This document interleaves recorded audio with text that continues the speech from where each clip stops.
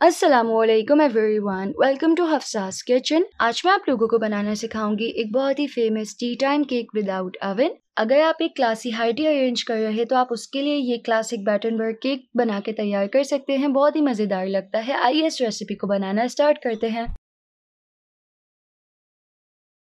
सबसे पहले हम एक स्क्वायर पैन ले लेंगे और इसे ऑयल की मदद से ग्रीस कर लेंगे। आप यहाँ पे बटर या फिर घी का भी इस्तेमाल कर सकते हैं। अच्छे से पूरा पैन को ग्रीस कर लेंगे। अब हम एक एलमिनियम फॉइल को थोड़ा सा फोल्ड करके दरमियान में एक सेक्शन बना लेंगे, क्योंकि हमें दो डिफरेंट कलर्स के स्पंज बेक करने हैं और इस तरीके से दो बटर पेपर्स कट करके हम रख देंगे। तो इस तरीके से हमें अपने पैन की ग्रेसिंग करनी है और सेटिंग करनी है। अब हम इसको एक तरफ़ रख देंगे। अब हम वन कप मिल्क ले लेंगे। इसमें ऐड कर लेंगे one tea spoon white vinegar यानी कि सिंथेटिक विनेगर जो होता है सफ़ेद सिर का। इसको अच्छे से मिक्स करके एक तरफ़ रख देंगे। अब हम एक बोल ले लेंगे और इसमें एक छना रख लेंगे। साथ ही इसमें ऐड कर देंगे मैदा, यानी कि flour one and half cup one fourth cup milk powder three fourth cup powder sugar यानी कि पाउडर चीनी सिंपल मैंने ग्राइंडर में चीनी को पीस लिया है. One four tea spoon baking soda और अब हम इस सबको अच्छे से छान लेंगे ताकि जो भी लम्स हैं वो यहीं पे ख़त्म हो जाए. अब हम इसको एक बार मिक्स कर लेंगे. अब हम इसमें ऐड कर लेंगे हाफ़ कप ऑयल कोई भी ऐसा ऑयल लीजिएगा जिसकी कोई स्ट्रॉन्ग स्मेल ना हो।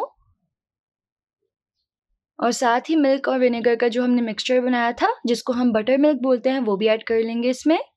और अब हम इसको अच्छे से मिक्स कर लेंगे तो ये बहुत ही आसानी से मिक्स हो जाएगा और बैटर जो है वो तैयार हो जाएगा। तो देखें कि स्मूथ सा बैटर बनके तैयार हो गया है। अब हम इस बैटर को दो हिस्सों में डिवाइड कर देंगे। यानी कि दो बोल्स में इक्वली डाल देंगे क्योंकि हमें इसको दो फ्लेवर्स में बनाना है। तो सिंपल वनीला फ्लेवर के लिए हम इसमें ऐड कर लेंगे वनीला एसेंस फ्यू ड्रॉप्स यानी कि कुछ कतरे इसमें ऐड कर लेंगे। मेरे पास जो वनीला एसेंस है वो क्लियर वनीला एक्सट्रैक्ट है और वो बहुत ज़्यादा स्ट्रॉन्ग है, इसलिए मैं चंद कतरे ही इसमें ऐड करूँगी। तो ये अच्छे से मिक्स हो चुका है। अब हम दूसरे बोल में ऐड कर लेंगे स्ट्रॉबेरी एसेंस या फिर कोई भी फ्रूट एसेंस आपके पास अवेलेबल हो तो वो फ्यू ड्रॉप्स आप ऐड कर लीजिएगा।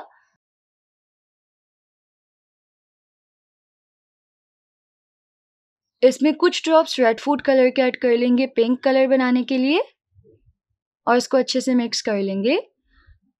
अब हम दोनों बोल्स को ले लेंगे और एक साथ ही ग्रीस किए हुए पैन में डालेंगे। एक साथ पोर करने से पैन का जो हमने सेक्शन बनाया है वो ख़राब नहीं होगा। अब हम इसको बेक कर लेंगे। तो बेक करने के लिए मैंने 10 मिनट के लिए कढ़ाई को लो फ्लेम पे प्री हीट कर लिया था। अच्छे से गर्म की हुई कढ़ाई में हम एक स्टैंड रखेंगे और उसमें बेकिंग पैन रख के इसको कवर करके बेक कर लेंगे। Twenty two twenty five minutes में ये अच्छे से बेक हो जाएगा लो टू मीडियम फ्लेम पे।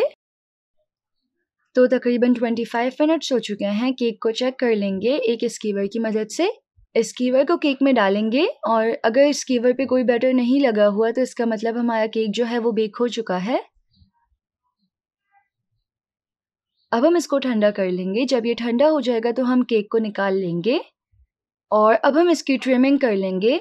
तो इसका जो टॉप पार्ट है और साइड्स हैं, उसे हम कट कर लेंगे।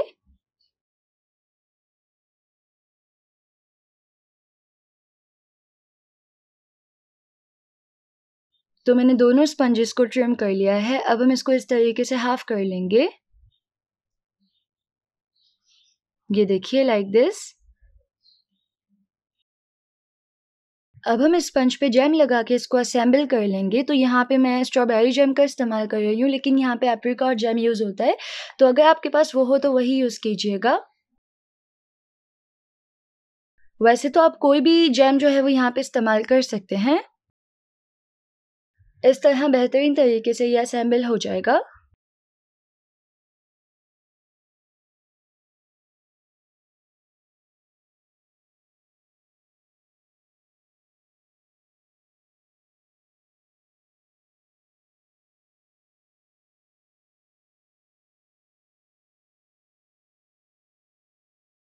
अब हम केक को कवर करने के लिए बिल्कुल क्लीन काउंटर टॉप पे थोड़ी सी आइसिंग शुगर स्प्रिंकल कर लेंगे और इस पे हम तकरीबन हाफ़ कप के करीब फोंडेंट जो है उसको रोल कर लेंगे।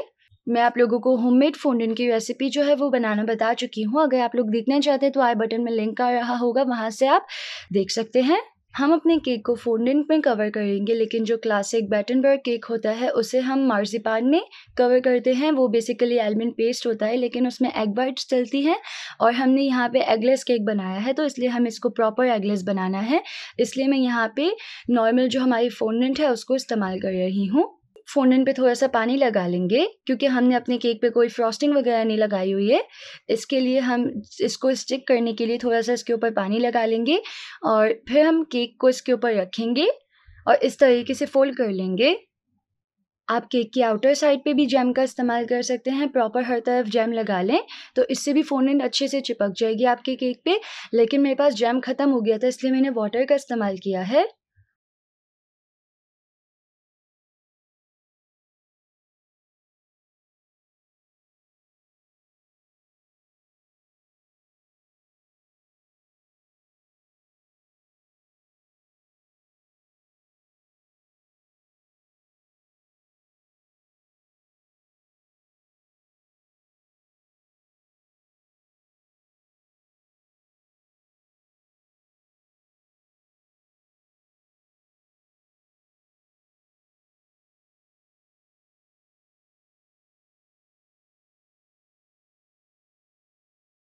तो तैयार है हमारा बहुत ही classy eggless Battenberg cake without oven अब मैं आपको उसको कट करके दिखाती हूँ।